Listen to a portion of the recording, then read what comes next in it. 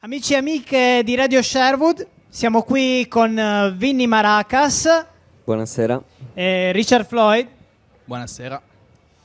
Vinny Maracas, un recente acquisto dell'etichetta Sotterranei, ha suonato un'ora fa sul nostro second stage, uscito l'anno scorso con un EP dal titolo Giovane Cagliostro e artista che si definisce esponente di un'urgenza espressiva che possiamo chiamare Italian Touch. Vinny, parlaci un po' di questo Italian Touch.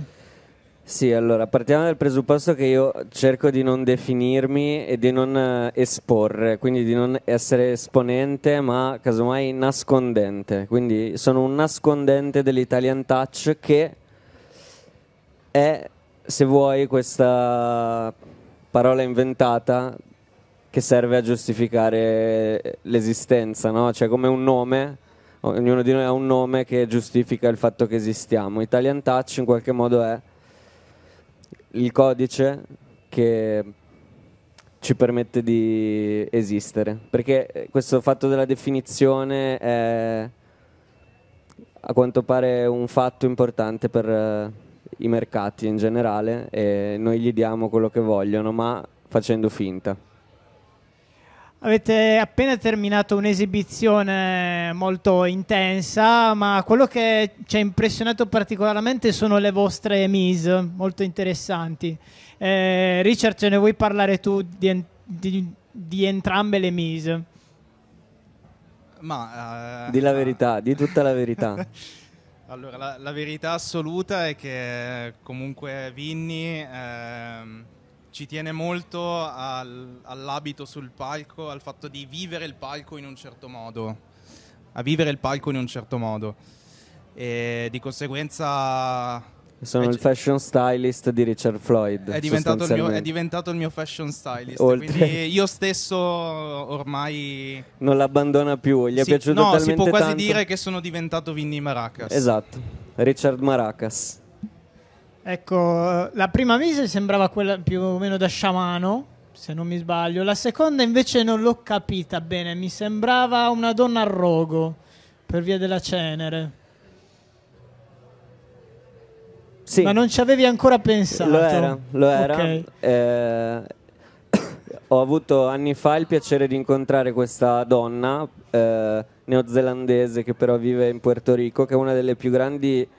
Eh, maestre di maschere viventi nel mondo, cioè ha una sapienza infinita sulle maschere, le costruisce e mi trovavo con lei a, a chiacchierare nello Jutland occidentale e eh, lei mi disse credo che tu sia una bruca e, da, e, e quindi eh, da quel giorno io cerco di mh, mm, seguire la strada che questa bruca ha segnato per me. Tutto chiaro. In uh, Rose Se la vie ti identifichi con uh, diverse personalità, cross uh, nel tempo, nello spazio e anche tra realtà e fantasia, no?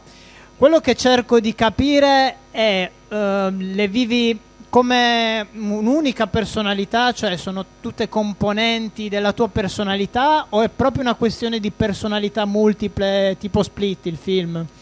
Ma in parte appunto è una disidentificazione, cioè appunto il confine tra realtà e fantasia mm, forse non esiste di fatto e magari ci sono persone che conoscono di più personaggi di fantasia rispetto ai personaggi reali che magari vengono citati nella canzone, ma il discorso è proprio la disidentificazione, cioè io in realtà credo che questo discorso dell'identità, che poi è il segno uguale dell'algebra, eh, sia un po' una truffa perché appunto eh, non, non, non, si è mai identici neanche a se stessi dieci minuti prima e dieci minuti dopo. Quindi il ricorso al personaggio di fantasia e alla, come dire, all'auto all'autonominazione in qualche modo, perché appunto anche il nome ha a che fare con l'identità, però rinunciare ai nomi e affidarsi a nomi di altri che esistono, che non esistono, servono in qualche modo a liberarsi, credo io, dall'identità che viene molto rivendicata,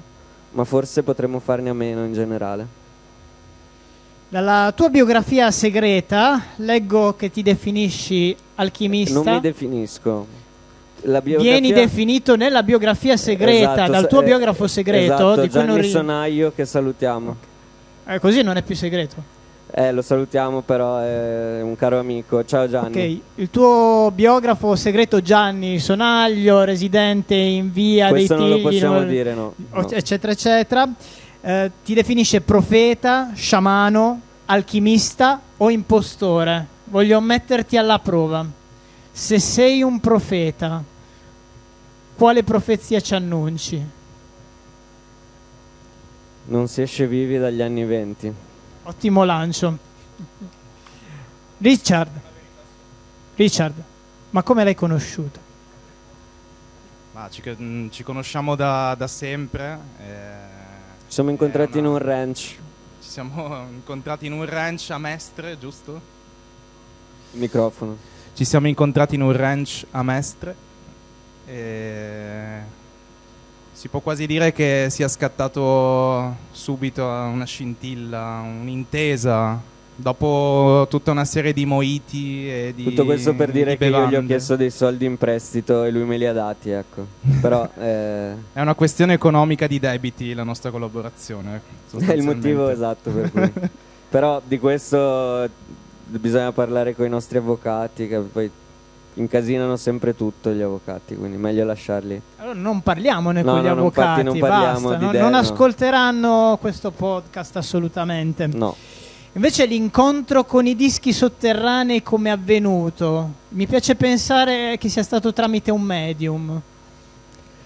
Beh, in, in parte sì, eh, diciamo che quel medium eh, può essere indicato in Marco Sorgato, eh, tra i fondatori di Dischi Sotterranei, eh, che è diciamo il, custode, il nostro angelo custode, in questo momento è in, è in Indonesia disperso nella giungla.